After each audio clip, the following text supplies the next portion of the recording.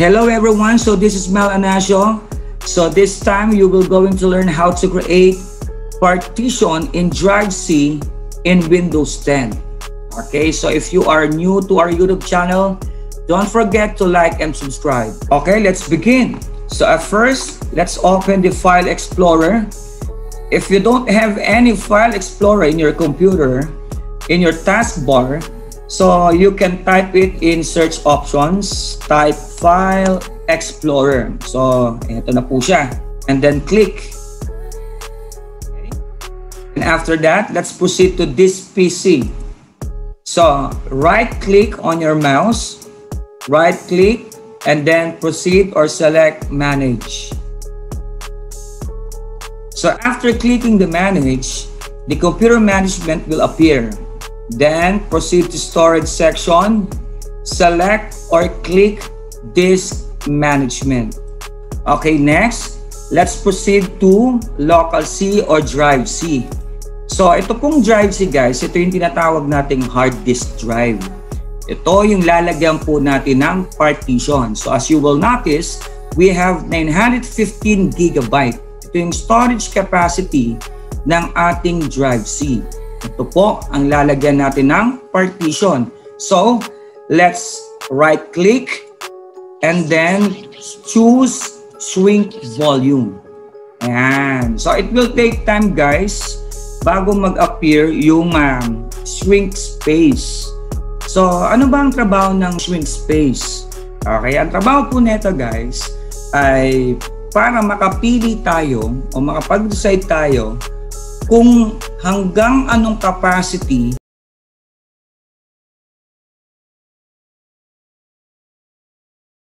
(500 gigabyte from 915 ang panibagong local drive mo, gagawin mong 400 gigabyte o di naman po kaya 300 o 100.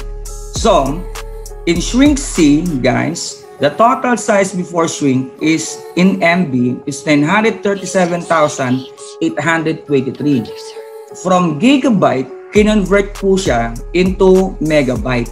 Okay. So dito naman, size of available shrink space in MB, 459,456. Now, mamimili po tayo kung gaano kalaki yung storage space na gagamitin natin for partition. So you have to remember guys, in 1,000 MB is equals to 1 gigabyte. So for example, if you want 100 gigabyte, ang ilalagay mo 1,000, 100,000 for 100 gigabyte. So for example naman, ang gusto mo, doon sa panibago mong drive, 200 gigabyte. So ang ilalagay mo, 200,000. Okay?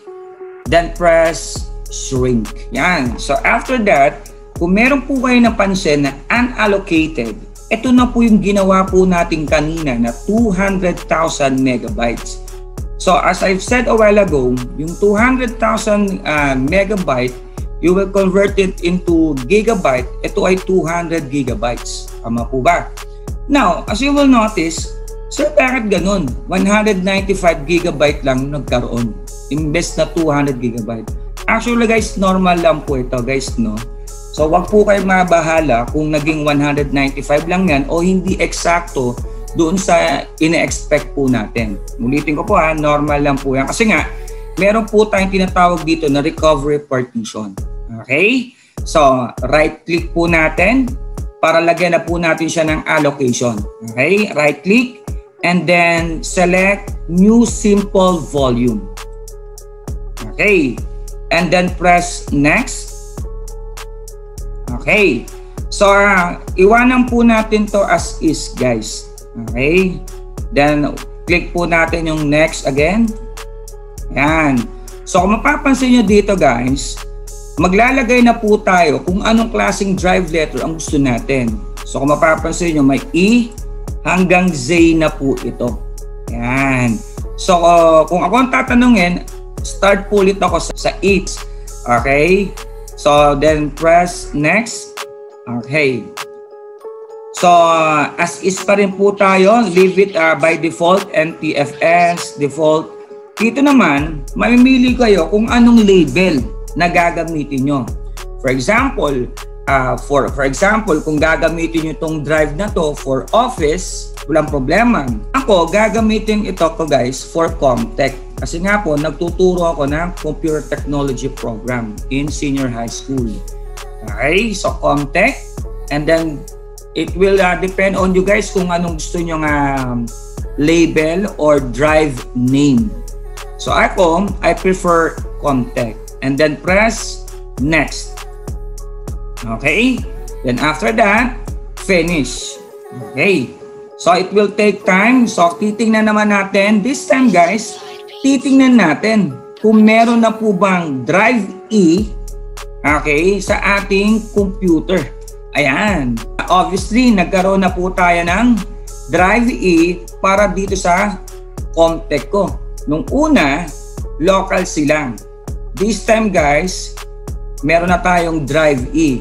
So, pwede ko na ditong ilipat ang ating uh, folders, files, or documents exclusively lang para dito sa contact.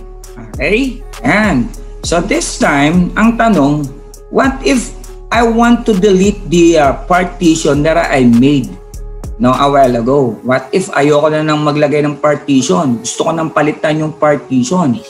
So ang gagawin po natin, just right-click again the this PC and then select Manage. The same process pa rin tayo guys. Kung paano na paano tayo pumunta o gumawa ng ng uh, ng partition. And then select the disk management. Now, let's proceed to Comtech. Ito ah, for example guys, gusto mo nang palitan o gusto mo nang i-delete permanently. Just click and then right click on your mouse. Then select delete volume. Yan. So, deleting this volume will erase all the data on it. So, for example, nilagyan nyo na po siya ng files or folders, automatically, madidelete pati yung mga folders na nilagay nyo na sa partition nyo. So you have to remember na dapat i-backup po muna natin o kaya i-save muna natin to sa ibang location. And then press yes kung decided na po kayo na gusto nyo na siyang burahin. Alright, so here you have it guys on how to create partition in Drive C in Windows 10. So, don't forget to like and subscribe. So this is Mel Anasio signing out.